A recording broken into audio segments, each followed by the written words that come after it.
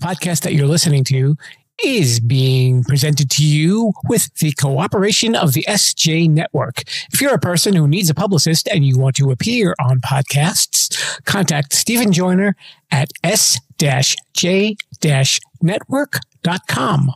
Let's get on with the show. Today's guest on the Sherpa screening room is Christen Stovall, author of the Song of Souls trilogy. Her books have gotten rave reviews on Amazon. Didn't you write a book also, Henry? I did. It was a story of two star-crossed lovers from feuding families. You mean, like Romeo and Juliet? Weren't they the ones who did that voiceover for the underarm hair removal ad? Don't the words wherefore art thou, Romeo mean anything to you? Hey, if she can't keep tabs on her boyfriend, maybe she should send simpler text messages. Attention, rebels of the Sherpalution. Today's podcast is brought to you by Audible. We would like to give you a free audiobook download and 30-day free trial simply by heading to www.audibletrial.com/sherpa.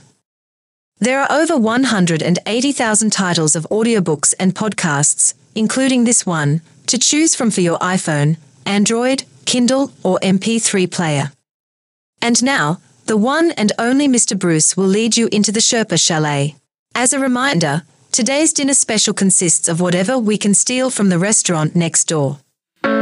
Coming to you from Sherpa Chalet in beautiful downtown Mount Podcastia, it's time for entertainment interviews in the Sherpa screening room. Grab an aisle seat and a bucket of popcorn, but don't crunch too loud or you'll miss the show.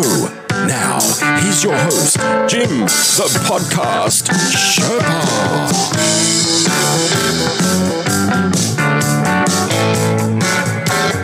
Hello there, Rebels, and welcome Sherpa Screening Room, coming to you from beautiful downtown Mount Podcastia. This is a production of Too Many Podcasts, and me, I'm Jim, the Podcast Sherpa. I will be guiding you through this special interview today, and we will be talking to a lady named Christen Stovall. And Christen is the author of the Song of Souls trilogy, along with its prequel, The Twisted Path.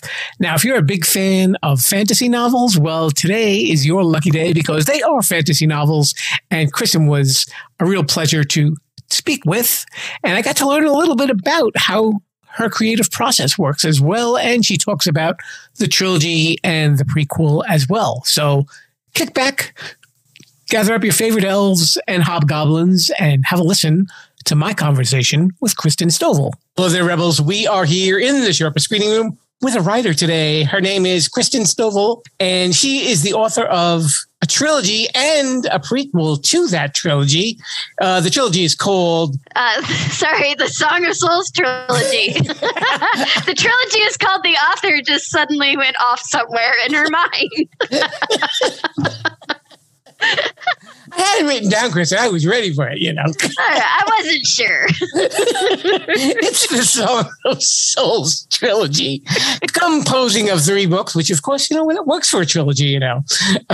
we have Soulbound, Soulfire, and Boundless. And also the prequel that should be out probably by the time you are listening to this, The Twisted Path. Let's say a nice hello to Christen Stovall. How's it going, Christen? It's going great. How are things for you? I'm doing very well, thank you. So awesome. You've you've always been a big reader, apparently. Yeah, I haven't been able to do as much lately because when I'm in the middle of writing something, I actually do tend to sort of back off of reading so I don't accidentally like take things and put them in without even realizing it. And and also like by the time I get done with what I'm working on, I usually just go to bed and that's it. I, I, wouldn't blame you for that. By that point in the day, my brain is gone. I'm mentally exhausted. It's done. These books, the trilogy and the prequel, they're all in the fantasy genre. Now, you were always a fan of fantasy books growing up. What were the types that you enjoyed? Oh, um, I love Tolkien. I actually started reading him very, very early. Some of my early me- earliest memories are of my mother reading The Hobbit to me. So, absolutely, Tolkien is just up there for me. He's completely influenced my taste and my work. There's also an author by the name of Juliet Marillier who writes some just beautiful uh, novels. My favorite is her Seven Waters trilogy, which deals with um, fantasy elements and like Irish folklore, and it's just fantastic. Now, is fantasy harder to write or is it easier? I'm, I mean, on the one hand, you could say, well, you could just kind of make stuff up and it'll fit in the book. but on the other hand, you don't want to get too incredulous because then after a while, people are going to be like, wait a minute, they, they're, they're writing it to make the story too convenient. Right. Yeah. You actually, you have to keep some things based in reality. There has to be that that connection point because otherwise it's so far outside the realm of the reader's experience that they just don't have a frame of reference for it. I don't know if it's any harder or easier. I think probably any any genre has its you know drawbacks things that are more difficult and things that are more easy. It's easier for me because i love it and they say write what you know and i know fantasy. And i guess with those types of books you know especially if you're doing a, a trilogy you need that kind of continuity. So i guess you're you're creating a world that's got to work in books one through three. Yeah that takes there's a lot of going back and looking at manuscripts and going wait, what did I name that town? How did I spell that character's name? I can't, I don't claim to remember all of it. Sometimes I get lucky and do remember it, but I usually double check. Do you have like a big chart. I know, like sometimes the TV shows have the little storyboards. You're like, okay, what name was here? I know authors that do that. I just have random notes stuck in places that I lose half the time and I do handwrite my outlines and I don't do it sort of I don't really do a traditional outline. I kind of write out broad strokes of chapters, but look at each of them with its own sort of beginning, middle and end. So the the outlines are like little tiny mini first drafts that usually get changed up quite a bit. That's understandable. And I guess especially with a large cast of characters too, yeah. Yeah. You, you got to kind of keep a balance between them as well. Oh yeah. Oh yeah. Um the the trilogy, I think I kind of kept it to a smaller group for the first and second book. Certainly, other characters kind of come in, but there's you. You've got your four core characters. The third book, there are more that come in because, of course, this is the ending, and all of the stuff has to come together and tie in. But the Twisted Path has a broader character base and just yeah, there's just a lot more going on. I always have to kind of stop myself and go, okay, what should I say and sh- what shouldn't I say? Because I'm terrible. I will give it all away. now, the trilogy follows a character named Aislinn. And does the prequel deal with her growing up or does it deal with her parents? The prequel actually play, uh, takes place 200 years before the trilogy does. And it deals with other characters' ancestors. Um, certainly, there are some familiar places. We go back to her. Uh, we we see certain cities and things mentioned in the books.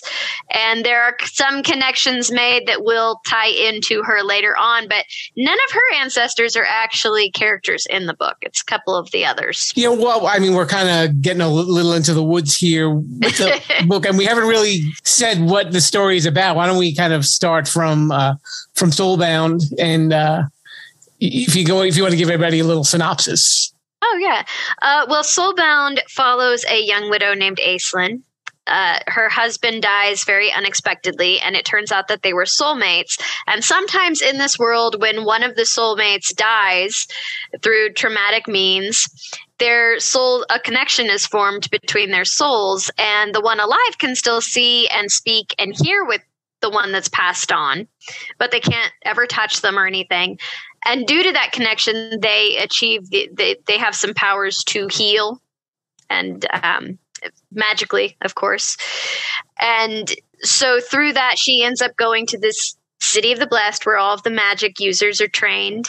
And I don't really dwell on the training very much, but she she gets started in that training and we do a little time jump to 3 years later where she's got you know a nice base going on there.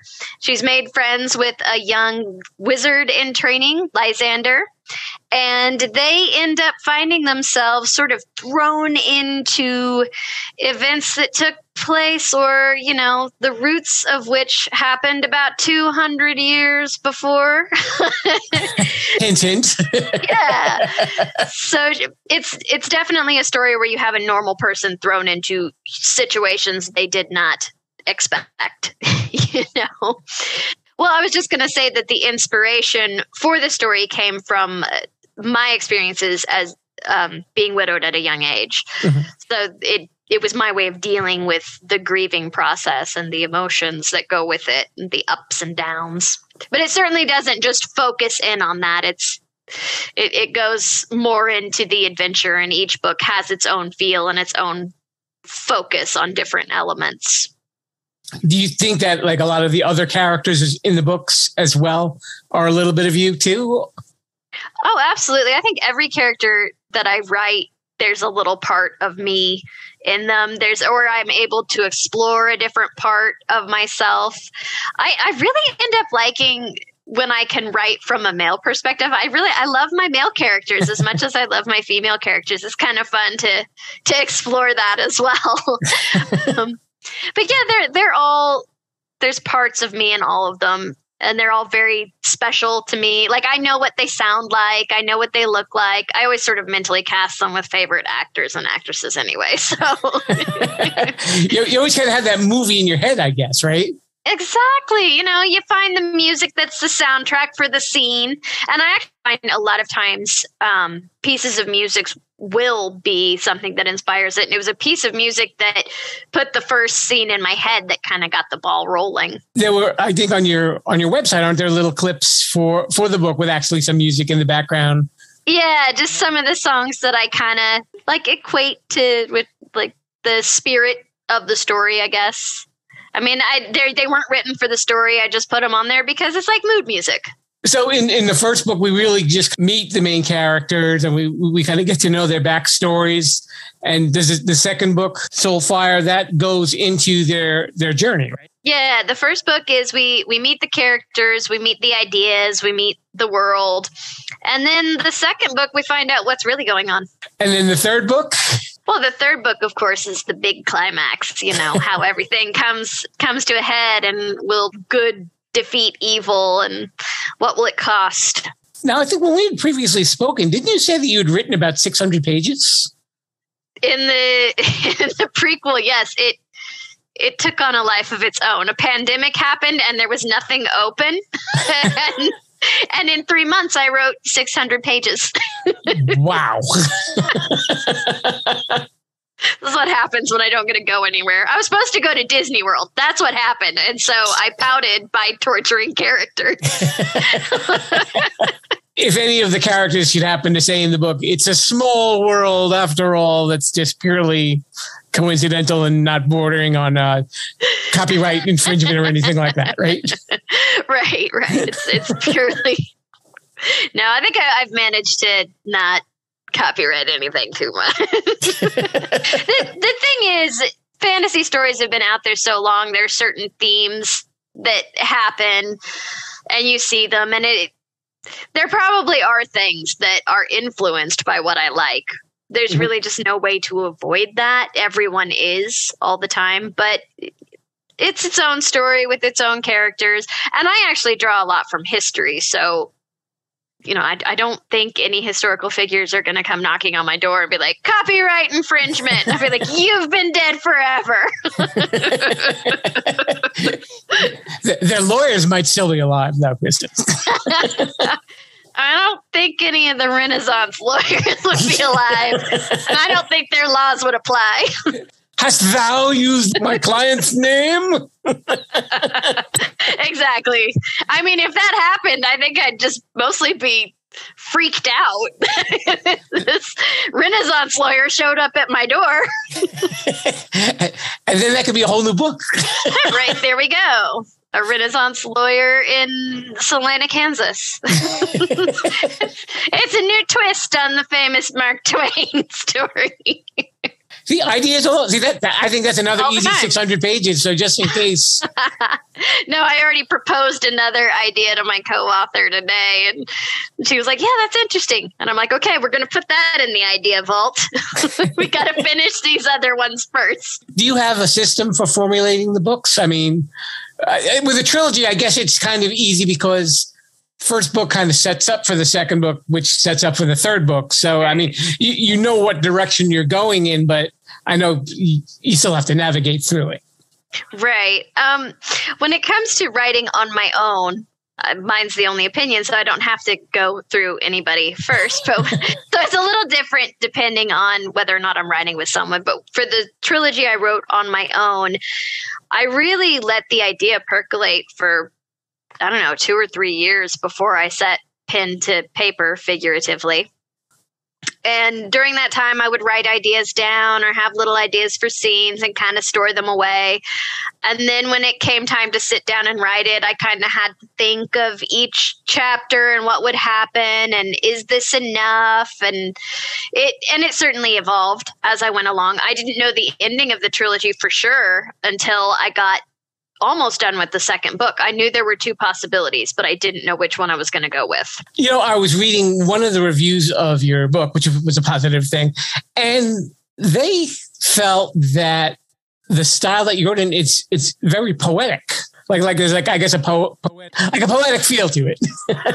you know, I've never considered myself a poet. I like cannot sit down and go, I'm going to write a poem today because then I just like ice cream is very nice. you know, like I'm just not good at it. I know my strengths. That isn't it. but I do notice that I like to write with a certain rhythm and a flow. And if a sentence doesn't have that right feel to it, then I don't like it.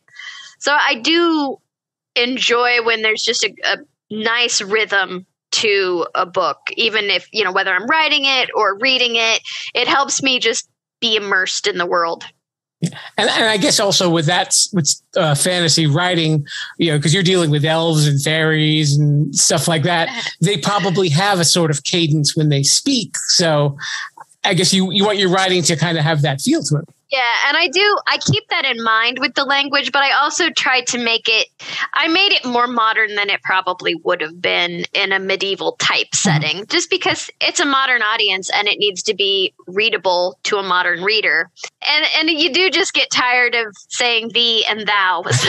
you know, I definitely give it a more modern feel with the language, but try to bring in some elements and sentence structure that gives it a little bit of an old feel.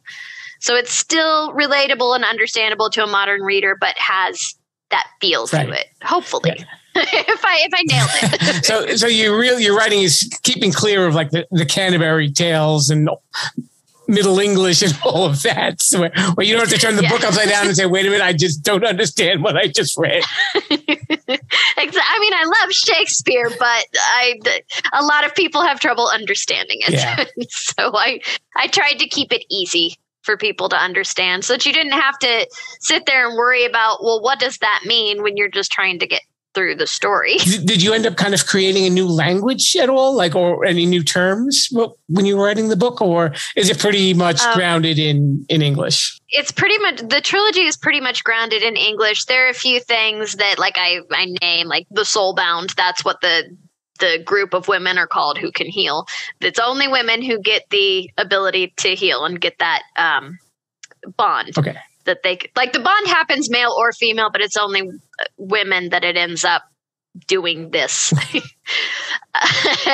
but in the prequel, I do eh, sort of dabble a little bit in there being another language. I don't write out another language. I am not qualified to do that. but I I give new terms to different words. I make it clear that these countries speak a different language and certainly imply that there's another language in there. So, and that's been fun. It, has been a lot of fun to take it and kind of go, okay, so, and I've basically just kind of looked at other languages and seen what blends well together and tried to make it seem like something real. Probably a linguist would look at this and go, "Oh my god." Okay, well, we'll, we'll absolve you of any uh, of any problems that may arise. Not a linguist. and I think with you know, especially when you've got a good story, and now it's like the one thing I kept seeing the reviews of your book that people just felt so drawn into this this whole journey with you know with Aislinn and and all the other characters that they said like you couldn't put it down. You just you got to a certain point and it was like, okay, what's going to happen next? and I love when they say that. I, I think that what works in this is just that there are some deeper emotional elements that we can all connect with. Like everybody's lost someone, and everyone's been faced with things that just seem so much bigger than themselves, and then to have to face it while grieving. I just think there's some very human elements that are kind of the backbone and heart of what progresses the story. All right, I have one weird question for you. What is a hobgoblin? I mean, basically just a goblin. It's another, uh, you know, it, it's it's another term for goblin. I like off the, I know there are some differences, but off the top of my head, I can't remember them folklore wise, but it's essentially a form of okay. goblin. I didn't know if there were special goblin rules or anything like that. Like you're a goblin and you're a hobgoblin. I, I, didn't make him up. I was just like, well, everybody uses goblins, so I'm going to use hobgoblins because I like to take from actual folklore and stuff like that. I like to draw from that. I love looking at folklore. I think that's half of it. Was there any specific type of folklore that you used in your book? I do tend more toward Irish and uh, English folklore. Just that's. I, I definitely seem to like the sort of European fantasy elements, so I think I I lean more that way. I know there have been others that I've pulled from that are from the Middle East. It sort of depends on what I need at that time. Whatever fits, then you just kind of work it into the story then. Exactly, exactly. And then sometimes I'll take elements of folklore and kind of weave them together and make it do what I want it to do. I do use banshees, which that's Irish folklore. So, so all right, I'm going to put you on the spot here. A movie version of of your book. What, what, what actors and actresses do you have in mind for some of your characters? Oh, I already have. Like, I, I know this one oh, okay. real well. I know that uh, Aislinn's soulmate Rory would totally be Ben Barnes. Ben Barnes gets cast in many things okay. in my brain. um, Kieran would be Richard Madden. Lysander would be an actor who he's not really super well known in like the larger circles, but his na- name is Jake Stormoen. I believe that's how the last name is pronounced. He's a. I've actually had the the pleasure of speaking to him just a little bit uh, via messages on Twitter at one point, and he's a very sweet guy. So he would he would be Lysander. Aislinn changes uh, frequently. I, will see someone and go, "Oh, she'd be good," and then I'll see someone else and go, "Oh, she'll be good." But I've never found anyone that I felt was just like perfect. And then I have characters for the Twisted Path too. I am ready if they ever make these movies. you know, I can almost see you like when you know if you're meeting with the uh, the casting people coming out with those one of those big scrolls where you just kind of open up and say, "Okay, let's start here." Is that off base? Storyboard with the pictures of the actors in the various things that I want them to have that look. Unfortunately, I, I doubt I would have that kind of power, but I would suggest people. There you go. I mean, nothing wrong with the power of suggestion. Exactly. Exactly. I don't think there's anything wrong with the power of suggestion. and, and it's funny because when books become movies, usually when they cast them, it's either right on the money or you walk out of the theater saying, "What were they thinking casting that person in the role?" Yeah, yeah. Uh, I just like. I mean, that's that's certainly a pipe dream at this point. But yeah, I hope if it ever happens, they just they get it yeah. right. I was a big fan of uh, the late Clive Cussler. The reason why a lot of his books didn't become movies was that he always seemed to have issue with whomever the studios wanted to cast. And I know they the last one that he, that they did uh, Sahara, and it was uh, Matthew McConaughey and Steve Zahn, and oh yeah, and yeah. he just was like, no, these were the actors I had in mind at all. you know, and and having read the books, I mean, I didn't see the movie, but I was just kind of like. No, I couldn't picture either one of those in the roles yeah. playing that. You know, it just doesn't work. And then there's other times where you're like, yes, this is the right person. I know, like they did so well with the Lord of the Rings movies. It was so good. And then with the Hobbit movies, I'm like, well, they're under a lot of makeup, so I, I can I can see this working. And I wasn't unhappy with Aidan Turner. I was like, no, no, you can have a hot dwarf. I never thought that I would be down with that, but that's fine. I'm an elf fancier, but but yeah, I mean, I do have these characters sort of cast in my mind, but I have noticed that you know, as the book evolves and everything, the characters will sort of still be that person, but they also look a little bit different in my head at the same time. They're also themselves. That doesn't keep me from looking at pictures of these people to sort of get my head in the right space, but it's my co-author and I do this as well. We we cast it.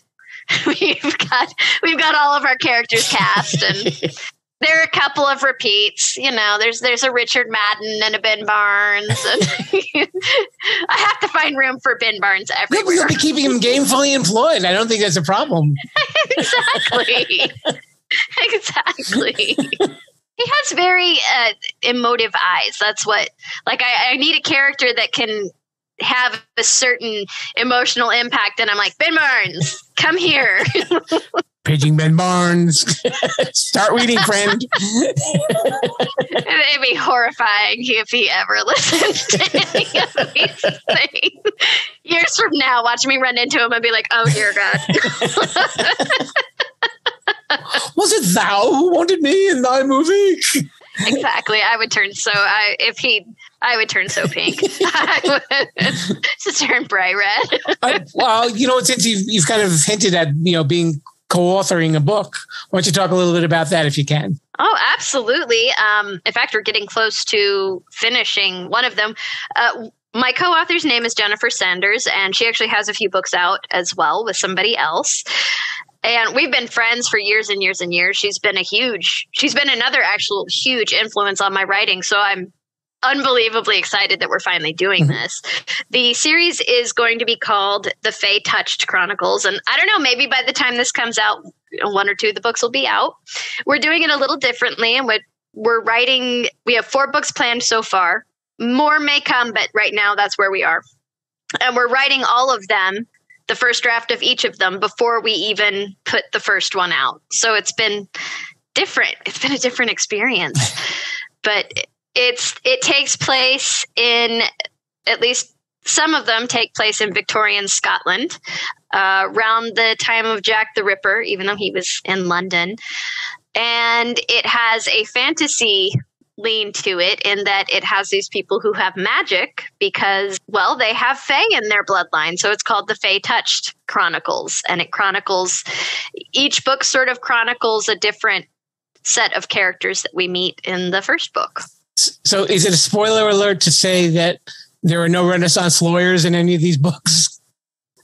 uh, it's one I'll give you. There are no Renaissance lawyers in these books. Okay. See. All right, Rebels, we're, we're just going to let you have that much information.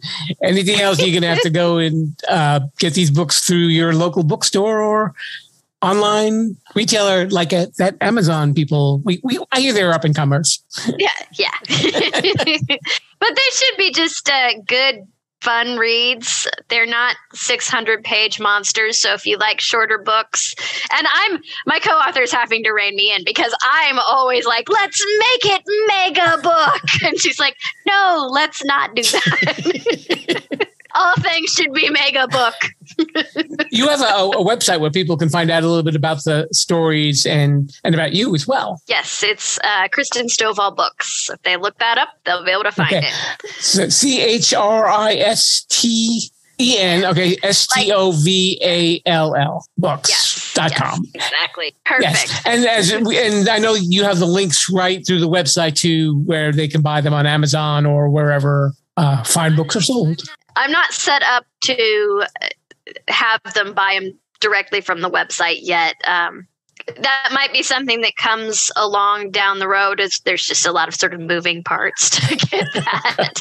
and I'm not that organized. yeah, that's that's where it is. and then I, I'm doing events I'm starting to go to Comic Cons and things so they can maybe if I'm in a city near somebody, they can come on in and get a book and get it signed. By the time this comes out, you, there's TulsaCon. Is that what you're going to? Tolkien. Tolkien. Yeah, it's a play on uh, Tolkien and Tulsa, and that is. Let me just look at. I know the dates. I just have to make sure I I get them exactly right. Okay. April 29th through May 1st okay. in Tulsa, Oklahoma. 2022. We got to let people know just in case you're listening to this five years from yes. now and they show up and like, where were you, Christen? you weren't there. You lied. and you just ran back say you missed it, and I was looking for you. and I do put those things on the website as well. I do update okay. it. Uh, anytime there's a big event, I'll go and update it and put it on there. Okay, so we want to encourage everybody to check out these books. The Song of Souls trilogy. See, I got it right out of the first, right out of the shoot. Not like that tricky part in the beginning. And if you go to Christen Stovall Books, you can check those books out and again buy them through your favorite bookseller. Christen Stovall, thank you so much for coming on the show. Thanks for having me. Be a rebel. Follow the show at Sherpalution on Twitter, Instagram, and Facebook. Thanks so much for swinging by the Sherpa Screening Room, and thanks so much to Christen Stovall for coming on by. And you can get her books, of course, at Amazon.com or anywhere else that you may find books sold. They're all there. And if you want to listen to more of this show, you can just follow me on Twitter, Instagram, and Facebook. And if you're following me on Facebook, there's a tab right there that says podcasts. Click on it and you will see the episodes that you can listen to. Pretty cool, huh? And you can also hear it on my website, sherpalution.com or on any podcast app that you may download on your phone. I'm on about 80 to 90% of them. The ones that I'm not on, let me know. And I will give them a piece of my mind and they will show up. Okay. Ooh, better calm down. Calm down. Anyway, thank you for coming. And next week we will be speaking to a guy named Gabriel Cymbalista. and he is the host of Cymbalistic Cynicism. And it's a podcast about movies, and we're going to get to know him. And he's got a really interesting story. Everybody does on this show, right? Well, we hope that you've enjoyed it. And don't forget, if you can leave me a nice review on Apple Podcasts, greatly appreciated, folks. Till then, Viva la Sherpalution. Mr. Bruce, let's ask a hobgoblin if they know a shortcut of getting out of the Sherpa Chalet. Bye, Rebels. Viva la Sherpalution. Thanks for listening to the Sherpa Screening Room. Don't forget to subscribe, rate, review, and share this podcast. I'm Mr. Bruce, and this has been a Sherpalu Studios production. Viva la Sherpalution.